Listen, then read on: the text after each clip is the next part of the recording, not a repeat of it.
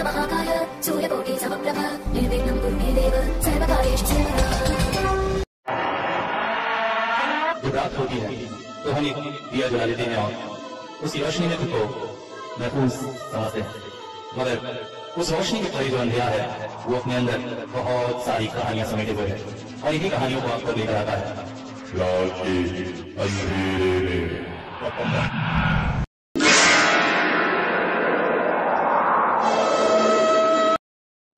Hello, नमस्कार, आदाब सत श्रीकाल दोस्तों, स्वागत सभी का और सबके लिए खबर।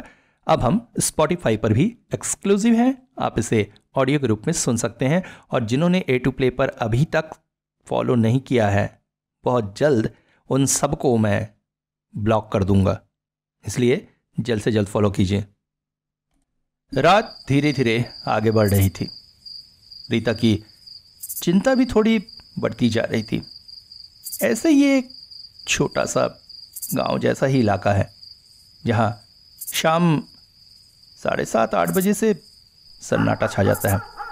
सभी अपने घरों में घुस जाते हैं और खा पी कर सो जाते हैं। ऊपर से ठंड की रात सात बजे से ही सन्नाटा छाने लगा है। रास्ते सुनसान, भौंकते कुत्तों के अलावा कोई नहीं। एक दो घर हैं जिनमें लाइट जल रहे हैं। अन्यथा अधिकतर घर अंधेरे हो चुके हैं। ये वे घर हैं जिनके काम करने वाले लोग देर से लौटते हैं। इन्हीं में से रीता के पति भी हैं। विमल। विमल शहर में इंश्योरेंस एजेंट का काम करते हैं। उनका एक ऑफ़िस है। दिन भर ऑफ़िस के बाद अपने इस छोटे ऑफ़िस में आकर बैठते हैं और क्लाइंट के साथ इंश्योरेंस रिलेटेड डील्स करते हैं। ऑफ़िस में, राकेश, उनका असिस्टेंट है। राकेश वैसे रिश्ते में रीता का ही दूर के रिश्तेदार है। ज़रूरत नहीं थी ऑफ़िस में, पर फिर भी रीता के कहने पर विमल ने उसे रख लिया था।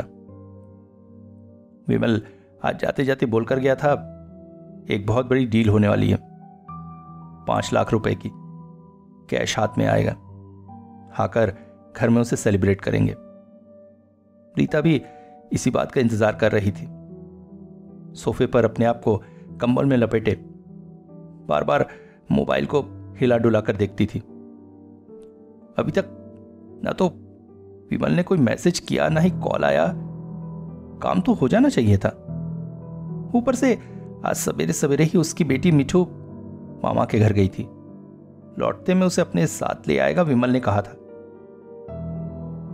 मोबाइल को उठाकर जैसे ही ऑन का सुई दबाया, देखकर चौंक पड़ी रीता। रात के दस बज गए थे। ओफ, कहाँ गया ये? इतनी रात, डील होने में इतनी रात लगती है क्या? जैसे ही टेबल पर मोबाइल रखा, अचानक मैसेज टोन बज उठा। उठाकर देखा रीटा ने। व्हाट्सएप पर एक मैसेज था। काम हो गया है। और एक फ़ोटो कुछ सोचकर मोबाइल उसने टेबल पर रख दिया। अचानक ही उसने महसूस किया, उसे बहुत गर्मी लगने लगी है। ओफ! कंबल से निकलकर पास की खिड़की पर जाकर खड़ी हो गई। बाहर से आती ठंडी हवा काफ़ी अच्छा महसूस करा रही थी। तभी दरवाजे पर दस्तक हुई। एक पल को चौंक सी पड़ी रीटा। खिड़की से बाहर का रास्ता दिखाई देता है। कोई आते हुए तो दिखा नहीं। फिर ये नॉक हो सकता है, हो सकता है उसने ध्यान ना दिया हो। दरवाजे पर बढ़ गई। और दरवाज़ा खोलते ही दो कदम पीछे हट गई। दरवाजे पर इस वक्त जो कुछ था, उसकी कल्पना किसी भी हद से रीटा को नहीं थी। एक पल को, एक पल को ज़ोर से चीखना चाहती थी वो, मगर मगर ऐसा लगा जैसे जैसे किसी ने उसकी गर्दन को दबोच लिया है। गले से आवाज़ ही नहीं निकली। लड़खड़ा कर पीछे हटते हुए सोफे पर धड़ाम से गिर पड़ी थी रीटा। सवेरे पुलिस की गाड़ी विमल के घर के सामने आकर रुकी। दरवाजे पर दस्तक हुई। विमल बाबू विमल बाबू। इंस्पेक्टर चतुर्वेदी बार बार आवाज़ें लगा रहे थे, मगर दरवाज़ा अंदर से बंद था। पड़ोसी पड़ोसी भी इकट्ठा होने लगे। क्या हुआ साहब? अरे, कल इनके ऑफ़िस में एक गौरी शंकर नाम का व्यक्ति इंश्योरेंस कराने आने वाला था पाँच लाख रुपए के। कैश लेकर घर से निकला मगर फिर घर नहीं पहुँचा। उसकी पत्नी ने मिशिंग डायरी कराई है। उसी के विषय में इनसे पूछना था मगर ये दरवाज़ा नहीं खोल रहे हैं। काफ़ी देर दस्तक देने पर जब दरवाज़ा नहीं खुला तब इंस्पेक्टर ने हवलदारों से कहा "हम्म, दरवाज़ा तोड़ दो मुझे कुछ अनहोनी की आशंका है। चोर लगाकर दरवाज़ा तोड़ दिया गया। मगर अंदर का दृश्य देखकर सभी पीछे हट गए। इंस्पेक्टर धीरे धीरे अंदर गए। सामने सोफे पर रीटा बैठी हुई थी। आँखें फटी सी, छत की ओर देखती हुई, आँखों से खून की धारा बहकर सूख चुकी थी। ऐसा लग रहा था ऐसा लग रहा था जैसे जैसे किसी चीज़ को देखकर उसकी उसकी डर के मारे आँखें फट गई हो। "अ, आप लोगों को कुछ पता इस विषय में? सभी ने ना ही कहा। और ये विमल भी अपनी बच्ची के साथ गायब है। कहाँ चला गया ये? क्या पता साहब? लगता तो नहीं है पत्नी के साथ कुछ अच्छे रिलेशन है। पैसा साहब पैसा पैसा हाथ में आया है। बस, भाग गया होगा कहीं। गौरी शंकर भी मिसिंग है, विमल भी मिसिंग है। इसके बाद पुलिस लाश को लेकर पोस्टमार्टम के लिए चली गई। घर को सील कर दिया गया। विमल और मिठू दोनों ही गायब थे। इसके साथ साथ गायब थे तीन और व्यक्ति। गाँव में चिकन मटन का व्यापारी, अचित राकेश विमल का असिस्टेंट और अरविंद घोष नाम का व्यक्ति, जो शहर में विमल की दुकान के पास ही सुनारी का दुकान लगाता था। मगर इसके बाद गाँव में एक अजीब सी हलचल मच गई। गाँव के स्टेशन में आखिरी ट्रेन करीब रात दस बजे जाती है। यात्रियों की हलचल उस ट्रेन में रहती ही थी। गाँव में आने वाले बहुत से लोग उस ट्रेन से ही शहर जाते थे। उस दिन ट्रेन में जाने वाले और उन्हें छोड़ने वाले लोग स्टेशन पर खड़े थे। तभी सामने का दृश्य देखकर सभी चौंक उठे। स्टेशन से कुछ दूरी पर बीचों बीच पटरियों पर एक आदमी चला जा रहा था। अचानक धड़धड़ाती हुई पास होती मालगाड़ी उसकी ओर दौड़ पड़ी। लोग चीख पड़े, मगर मगर उस आदमी को जैसे कोई भी होश न था। थड़थड़ाती हुई मालगाड़ी उसे धकेल कर आगे बढ़ चली। पर आश्चर्य, मालगाड़ी के क्रॉसिंग होने के बाद पटरियों पर कहीं भी किसी भी तरह की खून या लाश का नामो निशान न था। जबकि सबने अपनी आँखों से ट्रेन को उस आदमी को हिट करते हुए देखा था। इसके बाद जैसे ये नियम सा बन गया। हर दिन लास्ट ट्रेन के आने से पहले पटरियों पर वो आदमी दिखता। धीरे धीरे गाँव में दहशत सी फैल गई। लोग अब रात की ट्रेन को अवॉइड ही करने लगे। अकेले स्टेशन जाने की तो हिम्मत कोई भी नहीं करता था। मगर अभी हादसों का दौर थमा नहीं था। उस दिन सवेरे सवेरे टिकट कलेक्टर, जो शाम ढले ही टिकट की खिड़कियाँ बंद करके भाग जाता था। यहाँ तक कि रात को पास होती हुई मालगाड़ी को भी पासिंग देने के लिए स्टेशन पर कोई कर्मचारी नहीं जाता था। जब वो सवेरे आया तो उसने देखा, स्टेशन में लगी दो बेंचों में से एक बेंच पर एक व्यक्ति बैठा हुआ है, मगर पास जाते ही साथ वो चौंक पड़ा। व्यक्ति छत की ओर देख रहा था और उसकी आँखें जैसे फट पड़ी थी और उनसे खून निकलकर बाहर जम चुका था। आँखों में थी भयानक दहशत। ठीक ठीक वैसा ही जैसा जैसा रीटा की मौत के समय हुआ था। पुलिस आई। तफ्तीश की गई तो पता चला व्यक्ति का नाम अरविंद घोष है। शहर में वो सुनारी की दुकान चलाता है। पिछले कुछ समय पहले वो उड़ीसा गया था किसी काम से और फिर लापता हो गया था।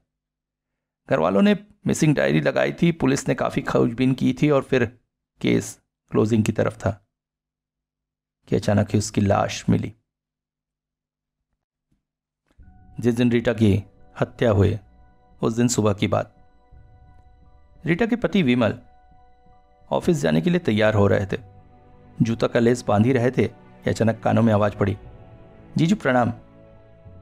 रीटा का भाई अनिकेत आया था। अरे, अनिकेत, आओ आओ। अनिकेत रीटा से कुछ साल छोटा था। तुम कैसे? बताया नहीं? जी, वो दीदी ने बुलाया था। तुम्हारी दीदी ने तुम्हें बुलाया था? मुझे बताया क्यों नहीं? अरे, कुछ खाने पीने का अच्छा इंतज़ाम करता। असली में वो मिठू को घर ले जाने आया था। मिठू को? आज? अरे, आज तो अच्छा दो मिनट रुको। कहकर रसोई में काम करती रीता के पास चले गए। रीता, तुमने अनिकेत को बुलाया मिठू को ले जाने के लिए? मगर आज शाम को तो हम लोग सेलिब्रेट करेंगे। ज़िंदगी में पहली बार इतनी अच्छी चीज़ हुई है। रीता ने विमल की तरफ़ देखते हुए कहा अच्छा ठीक है, मैं उससे कह दूँगी, शाम को तुम्हारी दुकान पर छोड़ जाएगा। तुम इसे अपने साथ ले आना, फिर हम सेलिब्रेट करेंगे। रीटा के चेहरे पर मुस्कान थी। यही मुस्कान तो थी, जिसने आठ साल पहले विमल का दिल जीत लिया था। विमल इंश्योरेंस एजेंट की तरह काम करता था तब। एक दिन रीटा के गाँव गया था। रास्ते में रीटा स्कूल से लौट रही थी। उस समय बारहवीं परीक्षा दे रही थी। सहेलियों के साथ हँसते मुस्कुराती रीटा की हँसी देखकर विमल का दिल आ गया था। लौटकर उसने अपनी माँ से कहा, माँ ने रिश्ता भिजवाया। रीटा के माता पिता भी मान गए और एक साल के अंदर ही दोनों की शादी हो गई। मगर मगर पता नहीं क्यों रीटा कभी भी उसे अपना अपना सच्चा प्यार नहीं मान सकी। क्यों? उसने कभी बताया नहीं। विमल ने भी पूछने की ज़रूरत नहीं समझी। लगा, जब जब दोनों के प्यार को बांधने वाला कोई आ जाएगा तो सब कुछ ठीक हो जाएगा। और फिर आई मिठू। मगर उसके बाद भी परिस्थितियाँ सम नहीं हो सकी थी। आज आज पहली बार पहली बार रीटा ने इतने इतने अच्छे से उससे बात की। कभी भी कभी भी वो किसी भी तरह का सेलिब्रेशन कोई खुशी, जैसे जैसे मनाना ही नहीं चाहती थी। यहाँ तक कि उनकी शादी की सालगिरह में भी हमेशा वो अपने मायके चली जाती थी, ताकि पार्टी सेलिब्रेशन से बच सके। पर आज पहली बार पहली बार वो भी पार्टी मनाने के लिए तैयार हुई थी। खुश हो गया था विमल। लगा, चलो चलो, इतने सालों बाद ही सही, मगर मगर उसे उसे उसकी पत्नी का सच्चा प्यार मिलेगा। अच्छा ठीक है, ऐसा ही करेंगे। शाम को, अनिकेत, मीठू को विमल की दुकान पर छोड़ गया। वो इंतज़ार कर रहे थे गौरी शंकर का। अचानक गौरी शंकर पहुँचे। और जल्दी जल्दी फॉर्मेलिटी वगैरह पूरी करने लगे। फिर एक बैग में पाँच लाख रुपए दिए। नोट, दो दो हज़ार के थे, इसलिए तीन गड्डी में ही आ गए थे। गौरीशंकर कुछ जल्दी में थे, इसलिए काम निपटा कर जाना चाहते थे। इसीलिए शायद उनके लिए रखा गया शरबत भी उन्होंने नहीं पिया। राकेश को दुकान बंद करने का कहकर मिठू को बाइक पर बिठाकर विमल घर की ओर चल पड़े। जाते जाते रास्ते में खाना खरीदा। मिठाई खरीदी और और कुछ चॉकलेट्स, जो रीटा को बहुत पसंद है। आज आज दिल से उसे चॉकलेट देगा और शायद वो भी दिल से खाएगी। अचानक, स्टेशन के पास से गुजरते हुए, दो व्यक्ति बाइक के सामने आ गए। सब कुछ सब कुछ इतने अजीब से हुआ कि विमल बाइक नहीं संभाल सका और बाइक स्किड कर गई। रास्ते में मिठू गिरने से चोट खा गई थी और ज़ोर ज़ोर से रो रही थी। विमल उठकर उसे संभालने के लिए बड़ा ही था कि अचानक उनमें से एक व्यक्ति ने मिठू के मुँह पर अपना हाथ देकर दबा दिया। वो उसे चुप कराना चाहता था। विमल चीख पड़ा ए, कौन हो? कौन हो? छोड़ दो उसे! छोड़ देंगे मगर हम जो कहते हैं वैसा करो। छोड़ देंगे। आवाज़ पहचानी सी थी। अचानक ही दोनों व्यक्तियों ने अपने अपने चेहरे से नकाब हटा दिया। चीख पड़ा विमल। अमल, तू? हाँ मैं। अमल वो तेरी भतीजी है। क्या कर रहे हो उसे? इतनी इतनी मजबूती से मत पकड़। मैं भी तो इसे चोट नहीं पहुंचाना चाहता भैया। हम लोग जो कहते हैं करो। दूसरा व्यक्ति गाँव का वही मांस विक्रेता अंचिन था। मगर तुम दोनों? तू तू मेरा भाई होकर इसके साथ भाई हाँ? माँ बाप के मरने के बाद भाई कैसा है ज़िंदा है क्या खा रहा है कभी पूछने की कोशिश की तूने? बस अपना परिवार अपने बच्चे। हम्म, तो तेरा स्वभाव कौन सा अच्छा है? तू जैसे शराबी कबाबी को क्या बिठा के खिलाता? नहीं। मत खिला। मैं वसूल कर लूँगा। वो जो पैसों का बैग है ना, चुपचाप यहाँ रख और निकल जा। मैं तुम लोगों को एक पैसे नहीं दूँगा।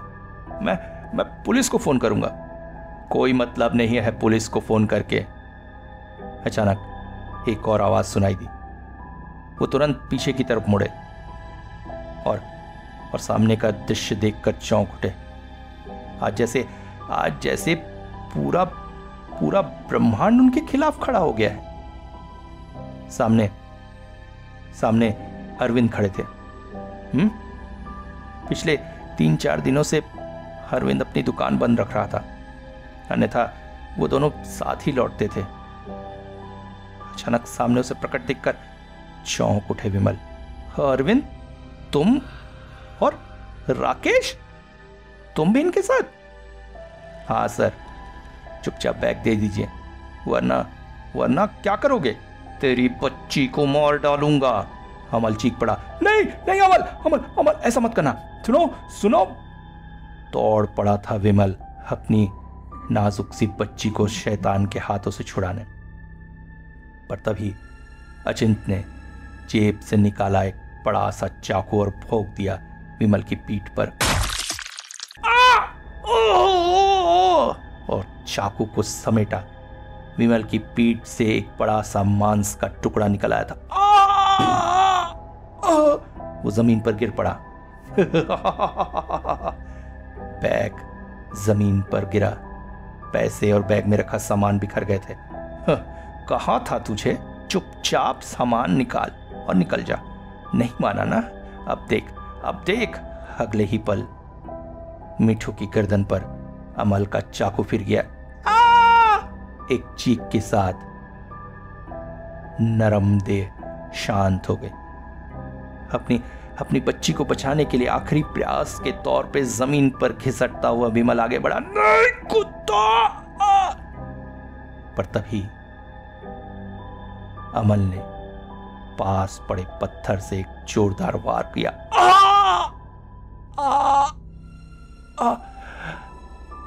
आँखों में दर्द और अपनी मासूम बच्ची को न बचा पाने की हताशा लिए धीरे धीरे विमल का शरीर ठंडा पड़ने लगा। अमल उसके पास ही बैठ गया। एक फ़ोटो ले लूँ तेरी। कोई और है जो तेरी मौत का इंतज़ार कर रहा है? कहकर उसने फ़ोटो खींची और मोबाइल विमल की लाश की तरफ़ दिखाते हुए बोला, देख, किसको है तेरी मौत का इंतज़ार? अरे, इसे क्या दिखा रहा हूँ? ये तो मर चुका है। पैसे उठाकर वो सभी वहाँ से निकल पड़े।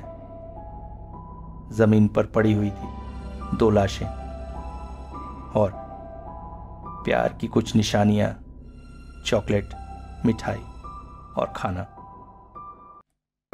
साला, ये ट्रेन वाले भी है? कब का हम लोग गाँव पहुँच गए होते? अभी ट्रेन चालू हो रही। बताओ छः बजे की ट्रेन नौ बजे चलती। हाँ यार ये तो मेरा भी गाली देने को मन कर रहा है, है? लाइन टूट गई थी। अरे लाइन बनाने में तुमको तीन घंटे लग जाते। अभी तक हम लोग गाँव में होते। आराम से आराम से घर पहुँच गए होते। मगर सही कह रहे हो। गाँव में किसी को खबर दें जो हमें लेने आए, ये भी तो मुश्किल की बात है। और फिर इतनी रात गए उस इंसान सड़क से घर जाना, ये रेल वाले बिना रेल के कंपार्टमेंट में बैठे कुछ एक यात्रियों में से ये तीन भी थे।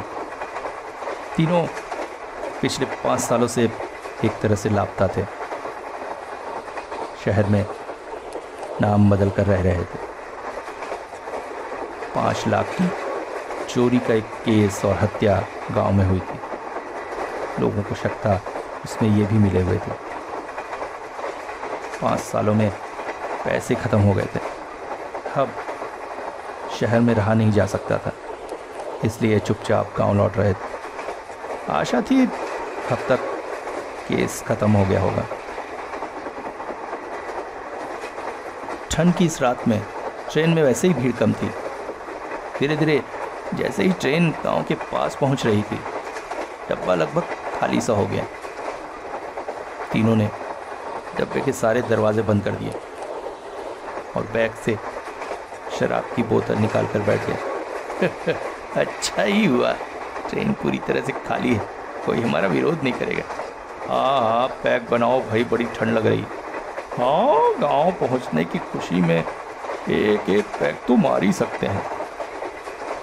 शराब का एक एक गिलास हलक से उतरते ही तीनों चौंक पड़े। अचानक अचानक ट्रेन के कंपार्टमेंट में किसी बच्ची के रोने की आवाज़ ए, ए, ये कैसे आवाज़ है? हम्म? आवाज़ कुछ जानी पहचानी है। चल बे। एक ही पैर में नशा चढ़ गया तुम लोग को। अगला पैक गलत से उतारते हुए चिंत बोला लगता है किसी की बच्ची अच्छी छूट गई है। लेकर आता हूँ। पुलिस को दे देंगे। लड़खड़ाते कदमों से। वो डब्बे में आगे की तरफ़ बढ़ गए। बाकी दोनों बैठकर अभी भी शराब पी रहे थे। तभी अचानक अचिंत की दर्दनाक चीख से दोनों चौंक पड़े। है? क्या हुआ? प, पता नहीं। कंपार्टमेंट में आवाज़ गूंजी। पापा पापा वो लोग हमें मार डालेंगे। मुझे बहुत डर लग रहा है। नहीं बेटी अब डरने की कोई ज़रूरत नहीं। अब वो हमारा कुछ नहीं बिगाड़ सकते। अब सिर्फ़ उन्हें उनके कामों की सजा मिलेगी। ए, कौन है? कौन है?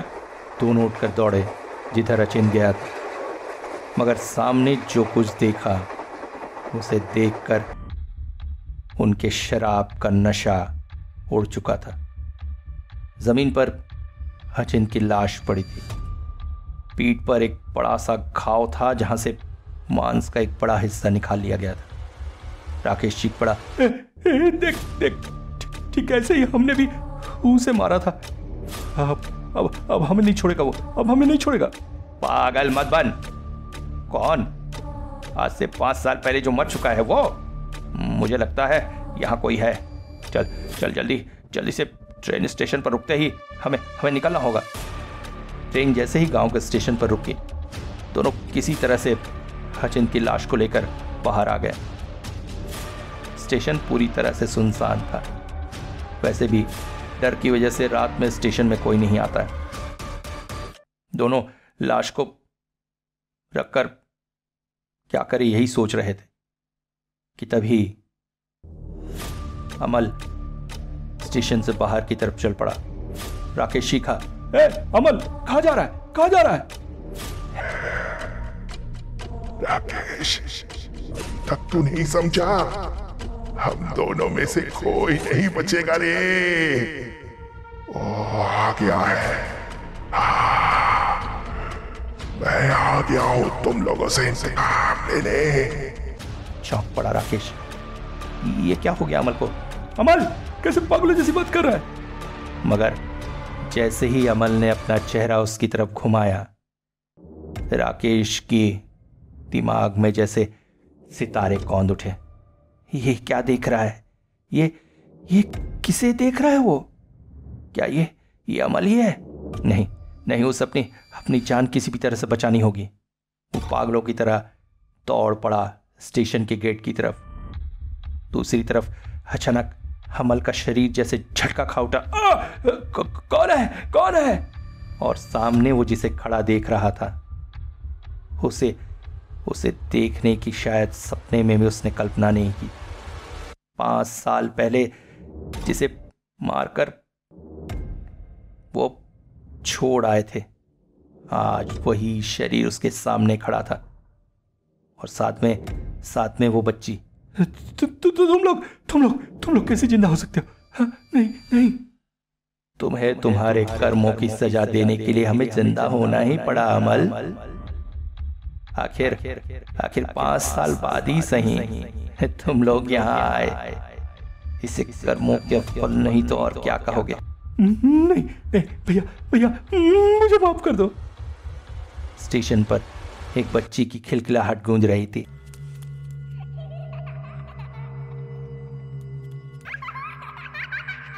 पापा पापा अब इनको सजा मिलेगी। हाँ बेटी सजा मिलेगी इनको। नहीं भैया भैया मुझे माफ़ कर दो। भैया उस दिन उस दिन कहाँ गया था तेरा भाईचारा? जब मेरी इस फूल जैसी मासूम बच्ची को तूने अब तो नहीं बचेगा। अब तो नहीं बचेगा। अचानक ही लहरा उठा अमल का शरीर। नहीं नहीं भैया भैया। और जाकर गिरा ठीक पटरियों के बीच। अचानक ही धड़धड़ाती हुई मालगाड़ी गुजरी और चीख से गूंज उठा स्टेशन। राकेश का शरीर भी काँप उठा। नहीं! अमल! अमल! भागने की भरसक कोशिश की उसने। मगर तभी तभी स्टेशन के गेट तक पहुँचते ही उसे ऐसा लगा जैसे जैसे उसके पैर पत्थर की तरह ज़मीन से चढ़ गए नहीं नहीं sir sir sir sir, sir मुझे छोड़ दीजिए मुझे माफ़ कर दीजिए। राकेश तुमने तो मुझे अपना गुरु माना था हाँ? तुम्हारी तुम्हारी कितनी मदद की थी मैंने। रीटा के रिश्तेदार थे तुम और तुम तुम इनके साथ। मैं मैं इनके साथ नहीं आना चाहता सर। मगर मगर रीटा ने हम्म रीटा मुझसे कभी प्यार नहीं करती थी, और वही चाहती थी कि मैं मर जाऊँ। मेरी मौत के बाद उसे ही व्हाट्सअप किया था ना अमल ने?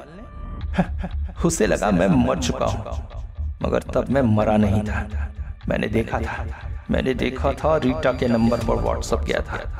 मगर क्यों? क्यों? आखिर आखिर मेरे साथ उसने ऐसा धोखा क्यों किया?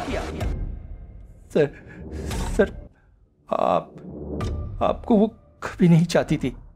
वो तो वो तो मुझे चाहती थी। मेरी मेरी गर्लफ्रेंड थी वो। पर पर मैं गरीब था। इसलिए इसलिए मैं उस समय कुछ कह नहीं सका। आपका रिश्ता आया तो आपसे आपसे शादी हो गई उसकी और फिर और फिर उसने कभी आपको अपने पति के रूप में नहीं माना। फिर फिर अचानक अचानक इस इस डील की बात पता चली। और और अमल ने भी रीता से संपर्क किया। तब उसने उसने ये सारा चक्रव्यूह रचा था। क्या? इस चक्रव्यूह के सरगना वो थी? खैर उसे तो उसके कर्मों की सजा मैं पहले ही दे चुका हूँ। क्या? नहीं। हाँ हाँ हाँ आप उसे कुछ नहीं कर पाएँगे सर। वो वो आपके आपकी पूरी जायदाद की मालकिन बनकर गाँव में रह रही है। रीटा से पाँच साल पहले मर चुकी है। क्या?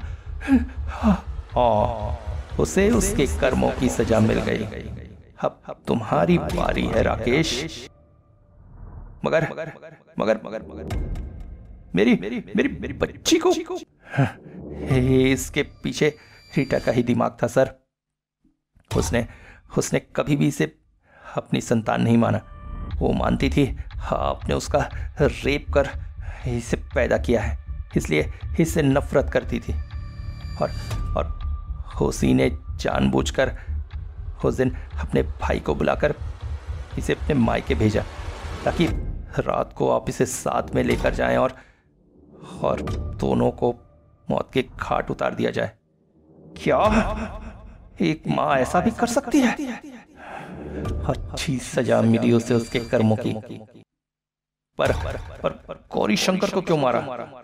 उसकी लाश उसकी लाश भी तो दो दिन बाद स्टेशन के पास के कमरे से मिली थी। हाँ गौरी शंकर से हम लोग हम लोग ऑफ़िस में ही पैसे छीन लेना चाहते थे और इसके लिए उसके शरबत में जहर मिलाया था मैंने। सोचा था जहर शरबत पीकर वो मर जाएगा। इल्ज़ाम आप पर आएगा कि आप पैसे लेकर भाग गए हैं और और हमारा काम बन जाएगा। मगर जल्दबाजी में वो शरबत नहीं पी पाया।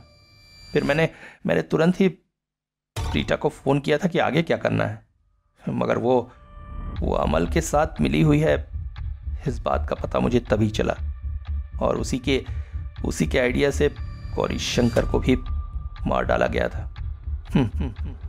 तो अब अब अपनी सजा पाने को तैयार हो? नहीं, सर। सर, मैं मैं कभी भी आपको इस तरह से मारना नहीं चाहता था। और और बच्ची को तो मैं बचाने के लिए वहाँ आया था। But but but no no but अब सिर्फ़ सजा। और तभी राकेश का शरीर हवा में लहराया और ज़मीन से टकराया। एक जोरदार आवाज़ निकली। और इसके बाद, और इसके बाद न जाने कितनी बार एक अदृश्य शक्ति उस शरीर को ज़मीन पर पटकती रही। हर बार राकेश की एक दर्दनाक चीख निकलती रही। फिर धीरे धीरे चीख निकलनी भी बंद हो गई और शरीर लोथड़ी की जरा ज़मीन से टकराता रही रहा। स्टेशन पर एक बच्ची की किलकारियाँ गूंजती रही। अगली सुबह यात्रियों ने स्टेशन का दृश्य देखा तो उनका दिल दहल गया।